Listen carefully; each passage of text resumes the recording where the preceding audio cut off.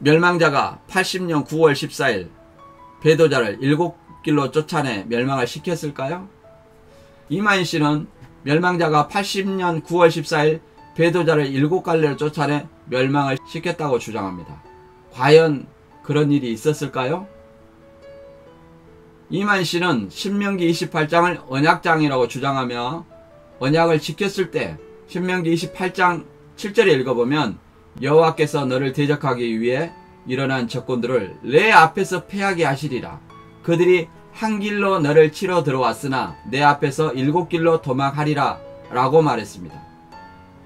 그리고 언약을 어겼을 때는 신명기 28장 25절에 여호와께서 내 적군 앞에서 너를 패하게 하시리니 내가 그들을 치려 한 길로 나가서 그들 앞에서 일곱 길로 도망할 것이며 내가 또 땅의 모든 나라 중에서 흩어지고 라고 말했습니다. 이와 같이 장막성전 일곱 사자가 언약을 지켰을 때는 이만희 씨는 대적이 쳐들어오나 일곱 길로 도망하고 언약을 어겼을 때는 대적 앞에서 일곱 길로 도망한다고 주장했습니다. 그리고 그 말씀대로 배도한 14년 만에 80년 9월 14일 장막선전 일곱 사자는 대적 청기기 일곱 목사 앞에서 도망하여 멸망을 당했다고 주장했습니다. 그렇다면 멸망의 마운트 달 실상인 청지기 교육원 일곱 목사는 이만희 씨 주장대로 80년 9월 14일 장막성전 일곱 사자를 쫓아내어 멸망을 시켰을까요? 먼저 청지기 일곱 머리가 배도한 장막성전의 일곱 사자를 과연 쫓아낼 수 있었는지 알아보겠습니다. 80년 9월에 청지기 교육원 일곱 목사가 장막성전 일곱 사자를 쫓아내려면 먼저 80년 9월까지 장막성전 일곱 사자가 존재해야 청지기 일곱 머리의 멸망의 논리가 성립할 수 있습니다. 그런데 과연 80년 9월까지 장막성전 일곱 사자가 존재했을까요? 알아보겠습니다. 먼저 유인구 씨는 69년 7월에 대적자도 아닌 아들에 의해서 장막성전을 이탈했습니다. 두 번째, 세 명은 69년 11월 30일 3년 반 시한부 불발로 솔로몬, 모세, 요수와 세 명이 이탈했습니다. 세 번째, 세 명은 80년 봄 오평호 목사가 당회장이 되는 것을 보고 사무엘, 미카엘, 디라 세 명이 이탈했다고 했습니다. 그렇다면 80년 3월까지 해서 7명이 이탈해서 배도했다고 주장했습니다. 그리고 유재열은 80년 10월 27일 오목사에 유임하고 도미했다고 주장했습니다. 그러나 사실 유재열 씨도 이만 씨가 71년 9월 7일 40여 가지 항목으로 고소하여 75년 9월 6일 날 오목사에게 위임하고 미국에 간 것이 아니라 감옥에 수감되었습니다. 그렇기 때문에 80년 9월 14일까지 유재열 씨를 포함하여 장막성전의 일곱 사자는 남아있지 않고 장막성전에 존재하지 않습니다.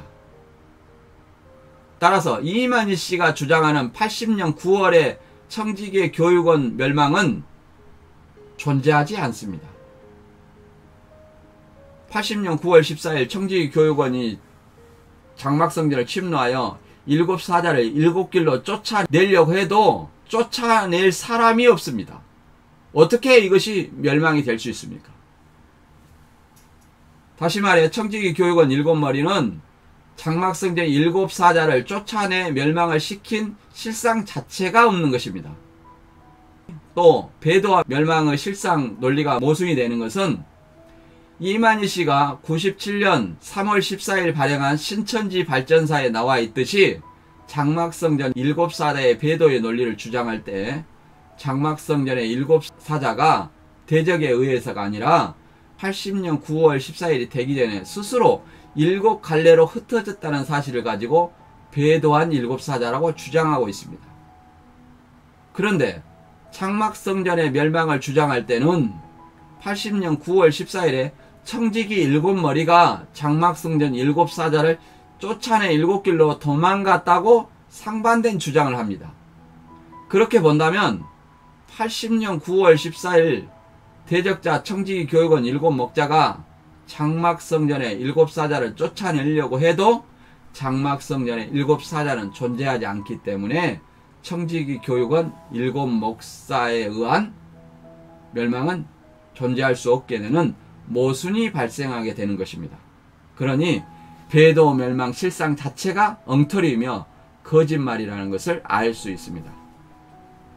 이만희 씨가 실상을 보고 들은 증인이라고 하는데 멸망자의 실상이 바뀔 수 있을까요? 실상은 과거에 이미 이루어진 일이기 때문에 이만희 씨가 실상을 본 증인이라면 실상이 바뀌지 않아야 합니다. 그러나 실상이 바뀌었다면 예언대로 이루어진 실상이 없다는 말이고 이만희 씨가 실상을 보지도 않았다는 말이며 거짓말을 했다는 증거입니다. 다음 확인해 보겠습니다. 일곱 머리 실상 멸망자가 바뀌었다면 이만 씨는 실상을 본 증인이 맞을까요?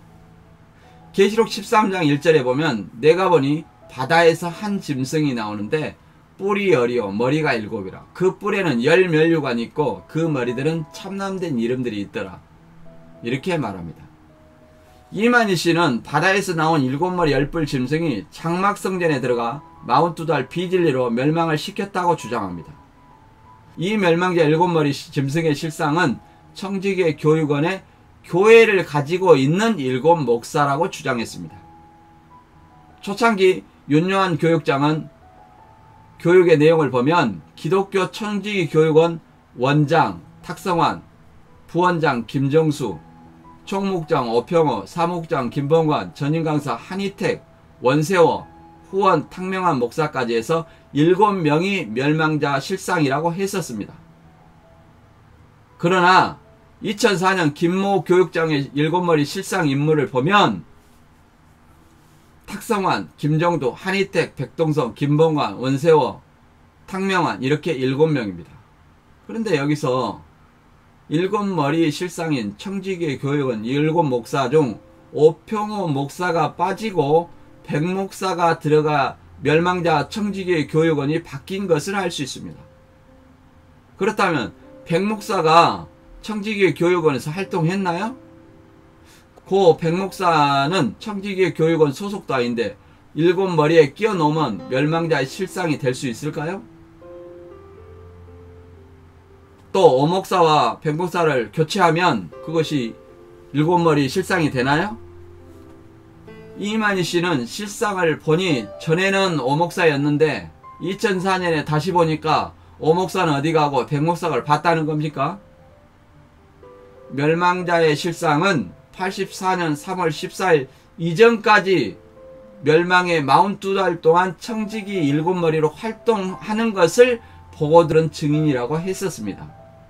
그런데 이미 멸망의 그간이 끝난 2004년의 실상을 다시 바꾼다면 결국 과거에 이루었던 실상은 가짜라는 것이며 거짓말이 들통나니 또 다른 거짓말로 합리하는 것밖에 되지 않습니다.